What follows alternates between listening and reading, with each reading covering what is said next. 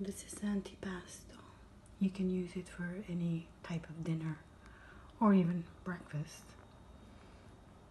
It's um, squash, beets with pesto that I made myself, and eggs with spinach and a little bit of avocado. Buon appetit.